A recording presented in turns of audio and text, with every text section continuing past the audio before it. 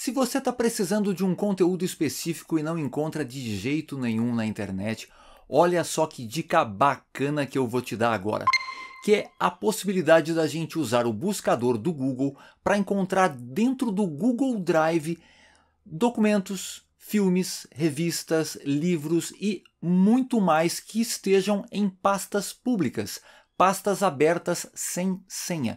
E é muito fácil fazer isso. Você vai pegar o seguinte: abre o navegador, digita aí site dois pontos drive.google.com, tudo junto. Agora você coloca um espaço e o assunto que você está procurando. No meu caso aqui, The Walking Dead, que é aquela série de zumbis da AMC. Aí você dá um enter e pronto, o buscador vai trazer tudo que tiver a respeito de The Walking Dead, Dead em pastas públicas no Google Drive. Aí você vai encontrar documentos diversos, revistas, eh, trailers, filmes, e eu vou escolher essa primeira opção aqui. Olha só que bacana.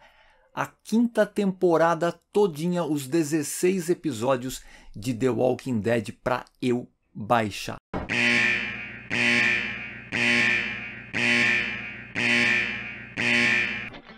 Muito legal essa dica, não é não?